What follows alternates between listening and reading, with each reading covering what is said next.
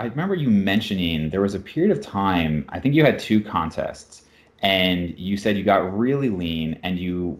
I don't think you tried to say contest lean, but you you were trying to say quite lean, and you said that you felt pretty good as the calories came up for a while. But then the longer you tried to stay lean like that, you felt worse again. Am I remembering that correctly? Yeah, so we're we're actually kind of picking up on the story of, of so I did that period in May. I got into stage condition, and then like I said, my average was down around, geez, I think it, I think when if you actually look at my average in that last, it was 1,600 calories. If you look at my my refeeds, there was periods where it was 1,400 for a week just because we pushed the refeeds back, it's like delayed refeed. But if we look at my standard quote unquote setup during that period, it was low days and high days for an average of 16. Just real quick, what was you was refeed like once a week at low like maintenance or? Normally they were uh, two to three times per week, and then during that period, um, they were Berto instituted. They were uh, on on a basically when I think you've made a lot of progress and you're you're mm. you're looking a little beat up, too beat up, and training's not not good or sleep's negatively affected we'll throw one in. Yeah. Um, so they were kind of like these auto-regulated pit stops during that that uh, that period of cutting. Um, so anyway, once we hit a certain level of leanness that we we wanted to achieve, uh, that was in early June or late May. Um, then calories just started coming up. They came up to an average of 1900, then 21, and then 23, and they just kept going up until I was basically hanging out at all times. I didn't have refeeds anymore. I was just between 25 and 2800 right. calories on average. Um, I competed in a show the first weekend in July, the third weekend in July, and then the second weekend in August. And by the one in August, I had been um, at maintenance for basically I'd, I'd, done a reverse diet for nine weeks, if you will. So the, the cool thing was about my prep is that I had experienced the the traditional conservative reverse diet, like add 100 yeah. calories a week for nine weeks, um, and saw myself just getting leaner and leaner and leaner, or awesome. appearing that way. Um, yeah. I looked my best probably in late July because we had a bit of a. Uh, I, I don't. Yeah, I, I, guess I'm trying to think.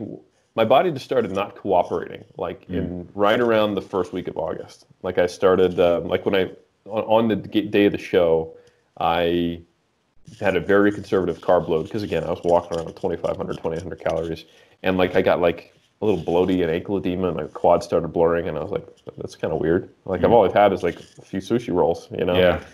Um, but I had, you know, I flew the week before. I was traveling all over the world. I, I presented in in Melbourne, uh, the UK. Um, and I was in California for three weeks for those shows, all within a couple month period. So I didn't go more than three weeks after I started bringing calories up without traveling across like five times. so wow. um, I was doing that, and I was, I was, you know, I had a lot going on. We had, uh, I was basically living my life as though I was not competing, which I'm really proud that I could do that. Yeah. But I think the, the, the toll happens somewhere, you know, when you're shredded and only sleep four hours before you pop up and have to find a way to fall back asleep and stuff yeah. like that. So, yeah. Um, so obviously, the worst I felt for the whole diet was during the, that period of being on like 1,600 calories. That was just brutal, you know. So I was basically I'd already done a show. I competed in April, and then May I went from um, lines in my glutes to like fully striated glutes in mm-hmm. May. So I was already lean, and then decided let's eat nothing. Um, so being shredded and on low calories is, is the worst combination. Um, either one of the others by themselves is not too bad. You know, if you have a fair amount of body fat, you just don't feel too shitty. Yeah. Or if you're shredded but you're eating a lot, you don't feel too shitty, which is basically what your question was. So, um, the comparison of being on 1600 to 1900, 21, 23, 24, 25 calories, it, like it, I was feeling better and better and better compared to that low point.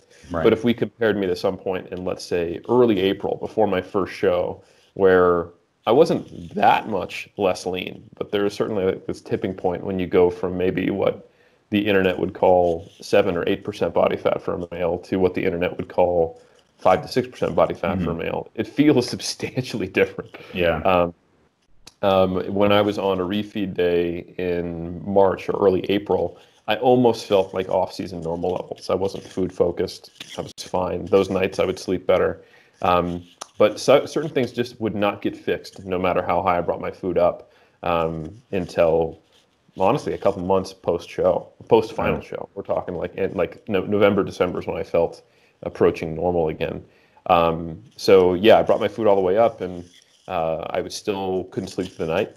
Still had pretty much no libido, and um, my strength started to dip after holding steady and even increasing early in prep. Sometime in uh, mid mid July, my strength started to drop off just a little bit. Even with the increasing calories. Oh yeah, yep. That's interesting. Did you notice an initial boost in strength when you went from like the 1600 average going up, or did it just kind of maintain and then eventually start dropping? No, I noticed more that the workouts just were not as hard. I didn't feel like I had slog through them. I didn't Yeah. have to cut volume as much. Um, I didn't feel like I needed deloads as frequently. Okay.